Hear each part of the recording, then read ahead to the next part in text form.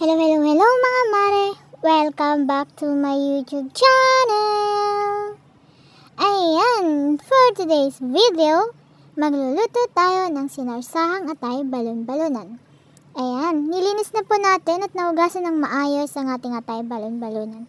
Importante po malinis ng maayos ang ating uh, balon-balonan para sa ganun iwas sakit. Siyempre, lahat ng kinakain natin mga mare, kailangan malinis.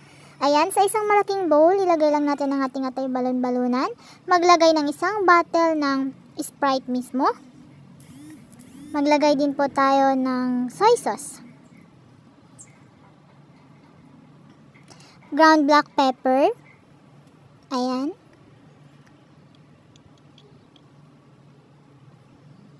Then, haluin natin ng maayos. Para sa ganon, kumalat ang mga ingredients natin inilagay. Ayan. I-marinate natin to overnight. Ayan. Pagkatapos ma-marinate ng overnight ang ating uh, atay balon-balunan, atin na itong lutuhin. Ayan. Pagkatapos natin ito ma-marinate ng uh, 24 hours, atin na itong lutuin. Sa isang pan, maglagay tayo ng konting uh, mantika. Ayan. Pakulayin lang natin ang ating mantika o painitin ng matagal. Ayan, pagkatapos na ito kapag mainit na ang ating uh, mantika, maglagay tayo ng onion. Isasatay lamang po natin ito. Siyempre, hindi mawawala ang garlic. Ayan. Isatay lamang po natin ito hanggang sa lumabas ang aroma ng mga ito.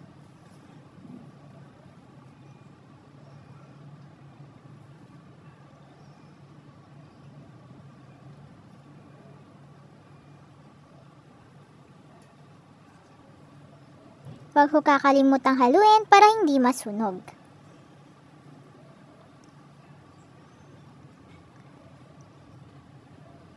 Ngayon naman, ilagay na natin ang ating uh, minarinate na atay balon-balunan. Ayan. Mas masarap ito mga mare pag na-marinate ng overnight. Pero kung kayo'y uh, magluluto at uh, lulutuin nyo siya para pang ulam this day, mas mabuting uh, i-marinate nyo kahit isang oras lang. Ayan.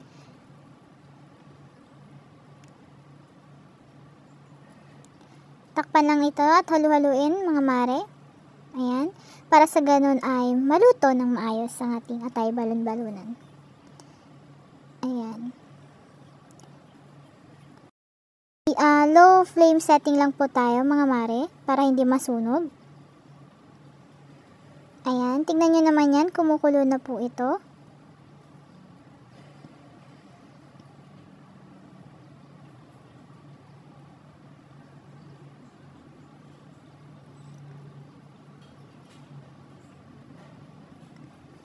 Ayan mga mare, kulon-kulo na ito. Dahan-dahan lang po sa paghahalo para sa ganun ay uh, hindi madurog ang ating atay. Ayan. Ayan. Siyempre, ngayon, isa-separate natin yung atay kasi nga madali lang po siyang maluto. Ang ating iiwan na lamang ay ang ating balon-balunan.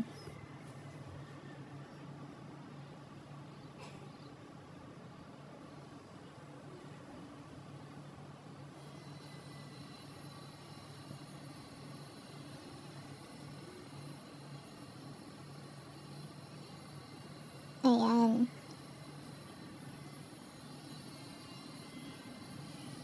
Ayan mga mare, mas papalambutin pa natin ang ating balon-balunan para sa ganon, mas masarap itong kainin.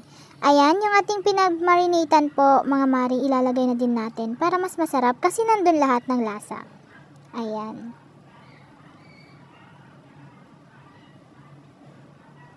Ayan mga mare, kumukulo na nga po ito.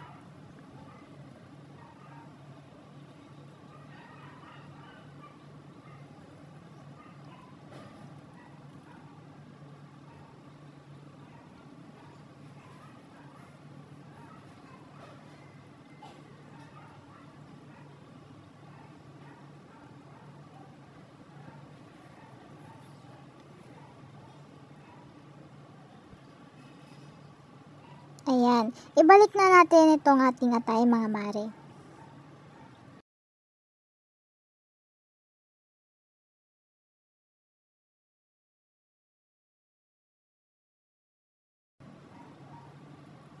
Maglalagay po tayo ng chicken cubes.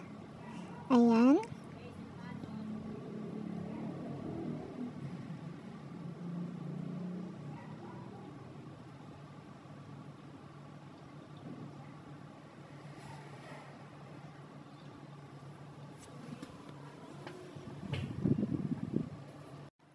Ngayon naman mga mare, maglalagay na tayo ng tomato paste. Ayan, konti lamang po ang ating ilalagay.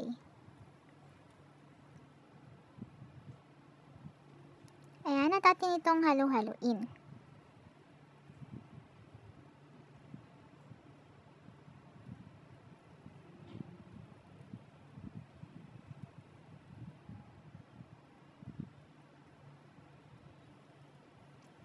Haluin po natin ito ng mabuti. Ngayon naman mga mare, ilalagay na natin ang ating mga potato. Ayan. Ang ating mga potato mga mare ay hiniwa lamang po natin ito ng pahaba. Siyempre, hindi mawawala ang ating green peas. Ayan. Tatakpan po natin ito at hayaang maluto. Kitang-kita niyo yan mga marit, ba? Napakasarap nga naman talaga. Siyempre, hindi mawawala ang taste test. Para malaman natin kung ano nga ba ang kulang sa ating niluluto. Ayan, hintayin na lang natin na lumambot ang mga gulay nating inilagay bago natin ito hanguin.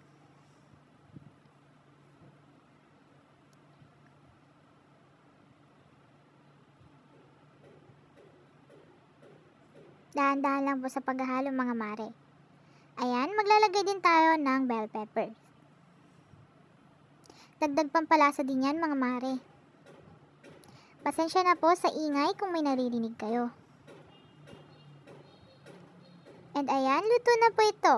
Presenting ang ating sinarsahang atay balon-balunan. Enjoy your foods mga mare!